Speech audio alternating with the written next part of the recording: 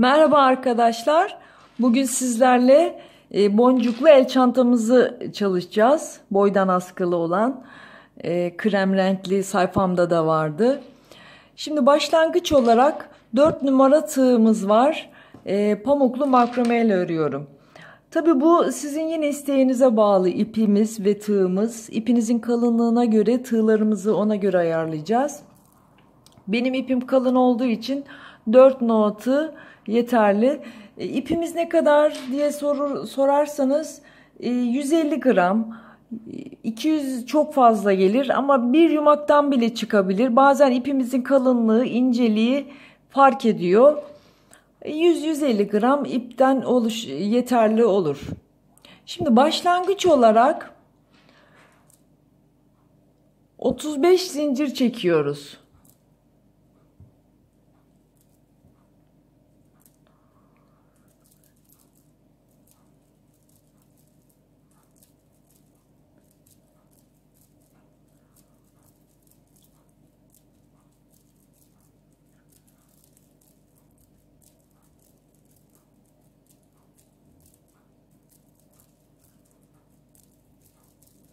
Evet 35 zincir şöyle.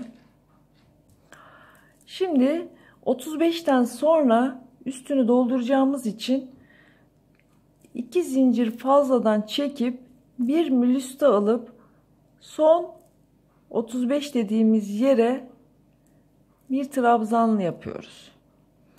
Aslında bütün zincirimizin her bir ilmeğine, her bir deliğin içine ikili trabzan yapacağız. Bu şekilde.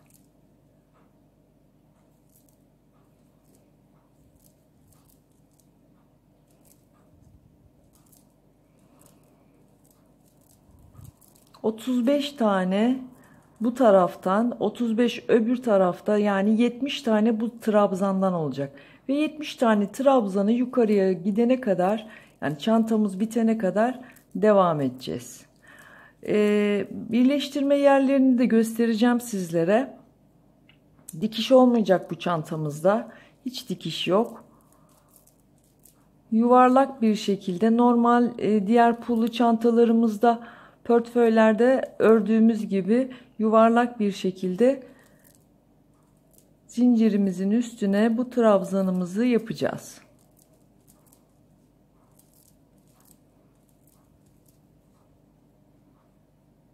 Şekilde. Evet sona kadar geldim hanımlar.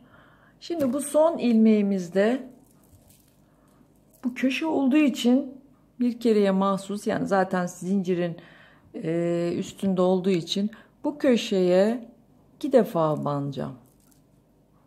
Bir, iki.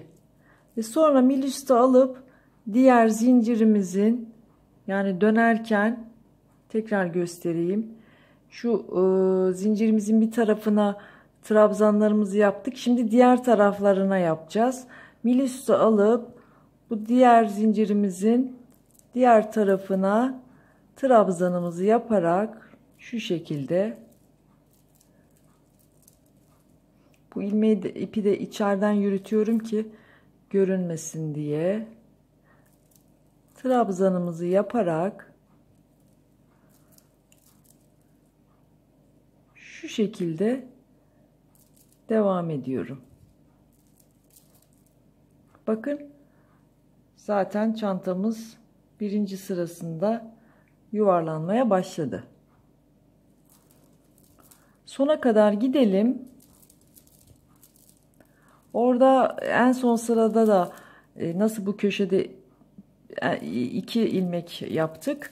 En sonunda da İlk battığımız yere bir kere batıp orayı birleştireceğiz.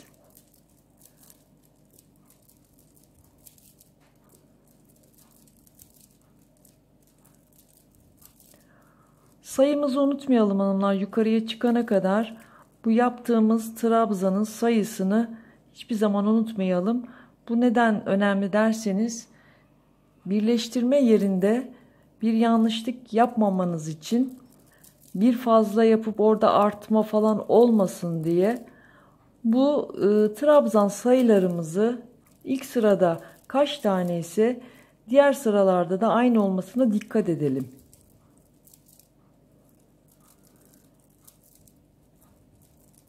Şimdi sona geliyorum.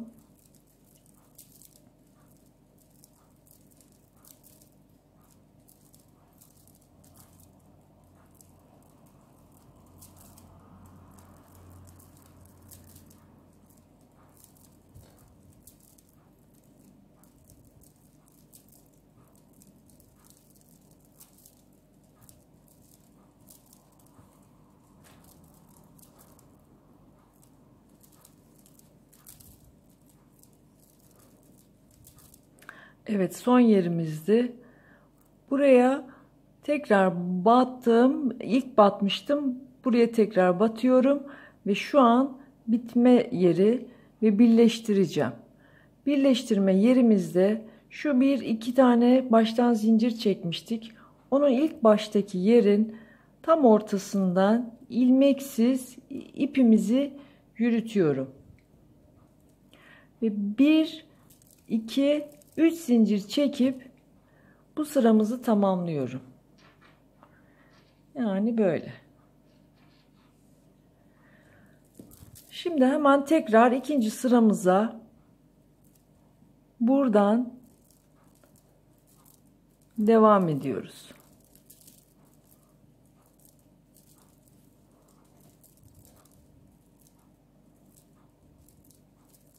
Trabzanımızı her bir trabzanın üstüne bir ilmek alarak devam ediyoruz.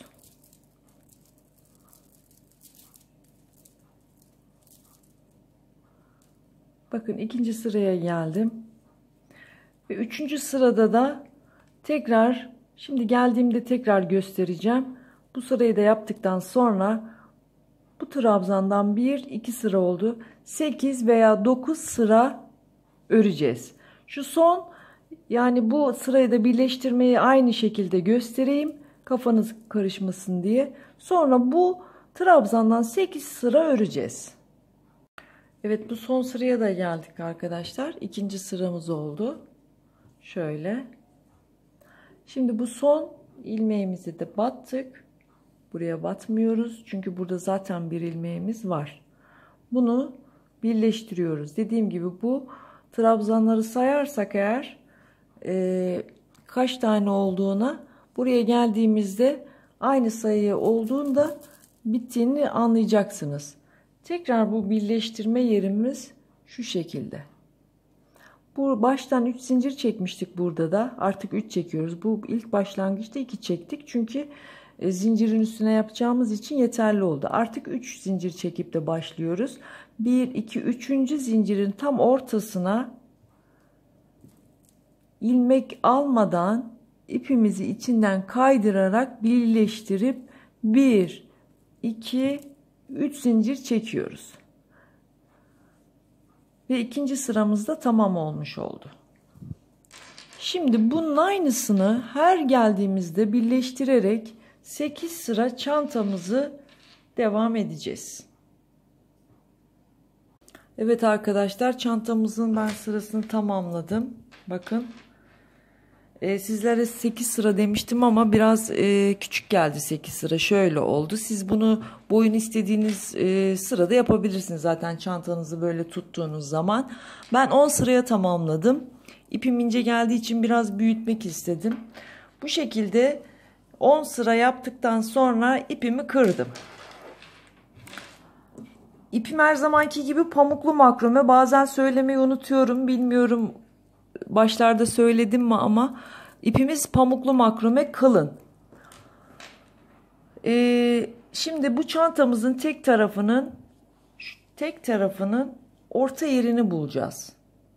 Yani sayalım 35 zincir çekmiştik zaten. 35 olursa 17 falan ediyor.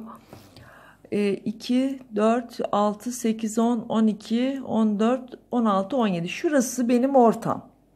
Bir zincir çekip tığıma ve tam orta yerinden bu çektiğim zinciri sabitleyeceğim. Şöyle. Ve 1, 2 3 zincir çekip geri döndüm. Bu 3 zincirimizi bir boşluk bırakıp şurada bir boşluk bırakıp diğerine ilmek almadan bunu sabitliyoruz. Şöyle. Sonra bir zincir çekip geri dönüyoruz. Ve ilmek alıp trabzan ile bu aynı battığımız yere aralarda bir zincir çekerek burayı dolduruyoruz. Bu yaptığımız zincir ile 3, 4, 5, 6,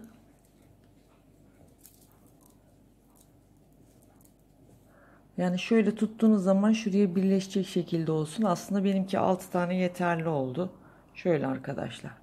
Ama siz sayılarımızı unutmayalım. 7 tane yapalım. 7 taneyi yaptıktan sonra burada da 1 2 tane yani şurası nereyi kaldırabiliyorsa önce şurada bir boşluk bıraktığımız için burada da bir boşluk bırakıp şuna ilmeğimizi sabitliyoruz. Milüstü almadan. Ve burada bir iki zincir çekip arkadaşlar bir iki boşluk bırakıp şuraya ilmeğimizi tekrar takıyoruz. Anladınız inşallah. Çünkü e, burası biraz karışık kafanız karışmasın tekrar göstereyim. 2 zincir çekiyoruz. 1 2 boşluk bırakıp üçüncüye ilmeğimizi takıyoruz ve bir zincir çekip geri dönüyoruz. Pardon, iki zincir çekip ve şu altta yaptığımız her bir trabzanın üstüne aralarda iki zincir olmak üzere şu şekilde 1 2 kafes yaparak 1 2 bütün trabzanlarımızın üstünü tekrar trabzanla gidiyoruz.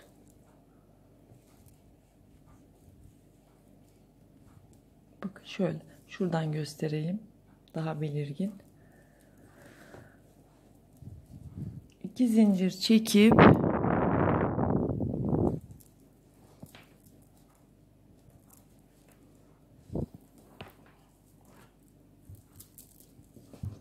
ve son kafesimi de yapıyorum.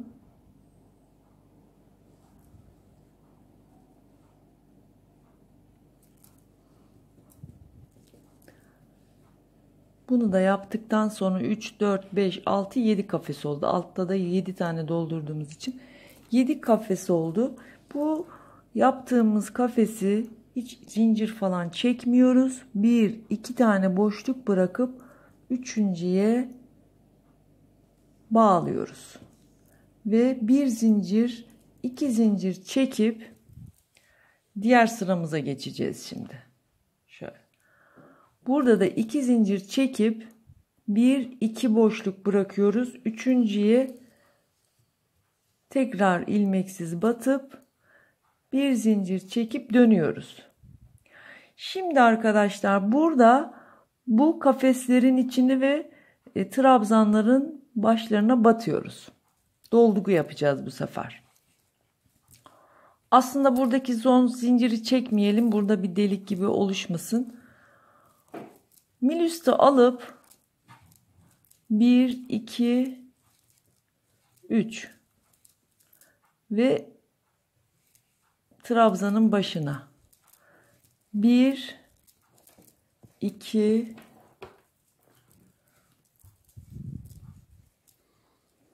Bazen e, şöyle tuttuğumuz zaman bakın buraya 3 tane doldurursam çok gelecek. Yani şu yaptığımız yuvarlak olacak burası. Bu yuvarlağı ovalleştirmeden arkadaşlar kimine 3 kimine 2 yapabilirsiniz. Yani illa da hepsinin içine 3 tane olacak diye bir şey yaparsak burası mağrullaşır. Yani gerektiğinde böyle şöyle düz durması için Yani mağrulu olmaması veya dar olmaması için bazen 3 bazen 2 tane doldurabilirsiniz ama bu başları unutmayalım. Bakın bura orta yer biraz e, dar olmaması için 3 yaptım şimdi de. Trabzanla. Bir tane başına battım. Bir, iki yaptım bu trabzanımızı. Tekrar başına batıyorum. Bir, iki, tekrar iki yaptım. Bakın böyle güzel gitti. Şöyle şu şekilde.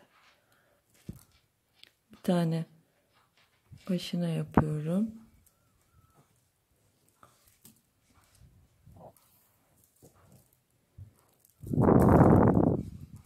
Bir trabzan. Kafesin içine iki trabzan. Yeterli. İlmeğimizin başına batıyorum. Tekrar buraya iki tane trabzan yapıp şöyle bakın ovalimiz oldu. Şunu da şuraya yapıştıracağız şimdi. Burada da bir iki tane zincir şey delik atlayıp üçüncüye sabitleyelim. Bu şekilde. Şimdi burada tekrar iki zincir çekip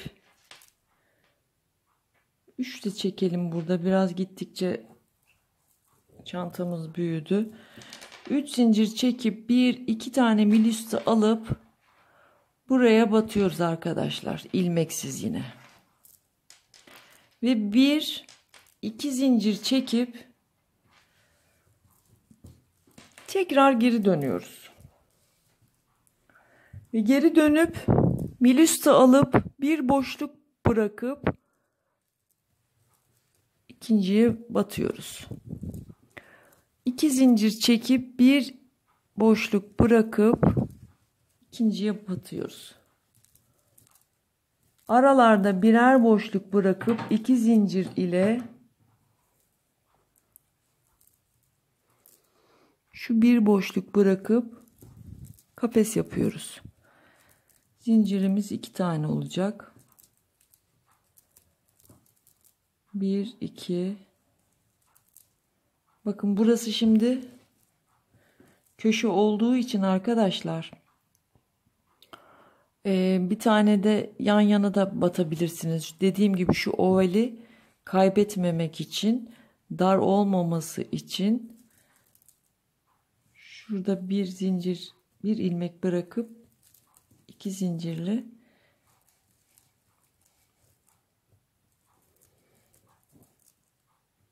devam ediyoruz.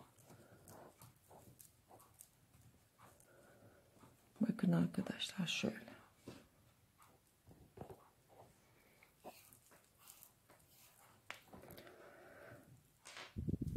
Şimdi şuraya gelene kadar yine devam ediyoruz aynı şekilde.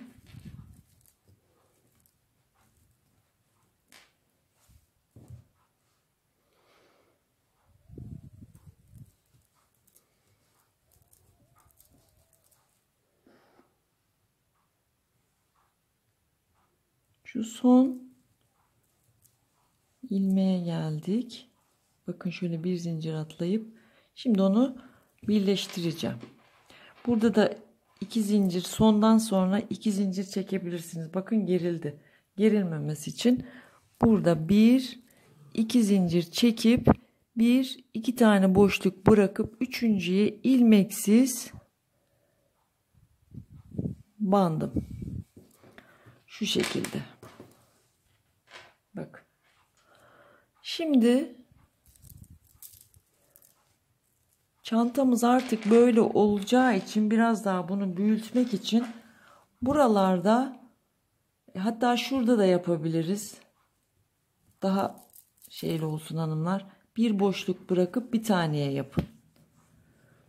Şimdi iki zincir çekip iki zincir çekiyoruz. iki tane bırakıp veya birer tane bırakalım artık. Çünkü çantamız kapağımız biraz daha büyük olsun isterim. Şöyle. Şimdi artık aralarda bir tane bıraktık. Burada bir tane ekleyip bir zincir çekip geri döndük. Ve şimdi de kafeslerimizi dolduracağız arkadaşlar.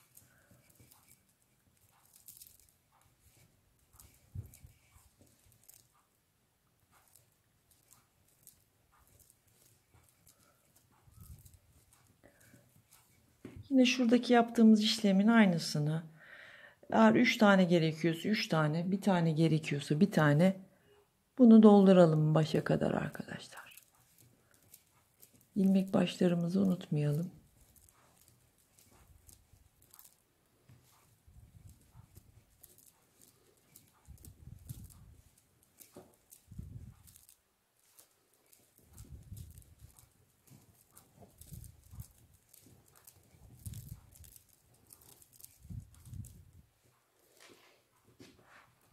Böyle gidelim.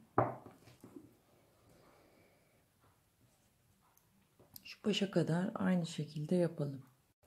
Evet arkadaşlar başa kadar geldik. Aynı şekilde bir tane boşluk bıraktım. Bir tane bıraktım artık. Ve ikinciye ilmeğimi takıp iki zincir çekip bir boşluk bırakıp tekrar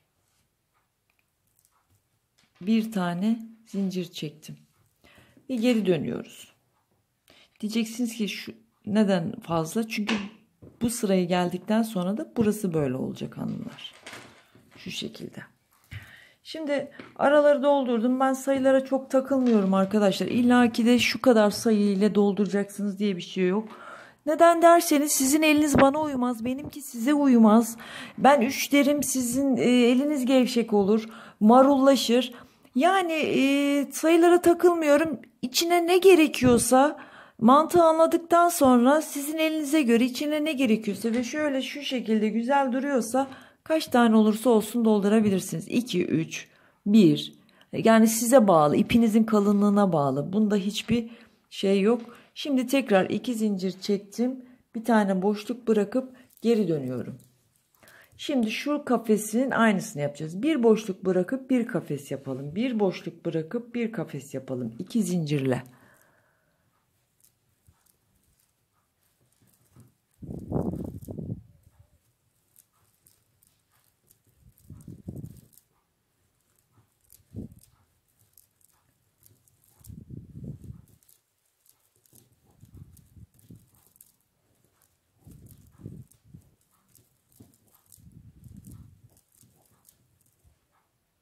Şu şekilde başa kadar gelelim arkadaşlar. Bir boşluk iki zincir. Evet arkadaşlar sona geldim. Burada da iki zincir çekip bir boşluk bırakıp çantamızı buraya birleştirdim kapağımızın yerine. Şimdi iki zincir çekip artık son köşeye ilmeğimi bakın bağladım. Zincir çekmeyelim orada delik oluşmasın dolguya ama çekmek de gerekiyor zannedersem. Bir zincir çekip geri dönelim. Ve şimdi çantamızın kapağı, çanta kapağımızın son sırasını gidiyoruz. Şu dolgu işlemini aynı şekilde buraya uygulayıp yani içlerini ve ilmek başını trabzanla örerek burada biraz uzun çekerseniz biraz daha güzel oluyor.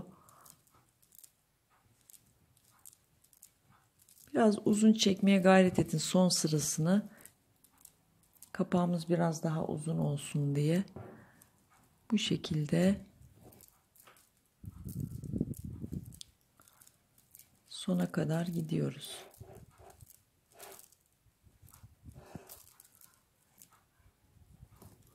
Bakın. Şöyle. Evet arkadaşlar sona geldim ve son çantamızın şu kıvrık yerine de yine bir tane denk geldi. Bunu birleştirip gördüğünüz gibi bazı yerlerde içine bir yaptığım da oldu. Çok böyle marullanmasın diye hanımlar. Siz de öyle yapabilirsiniz.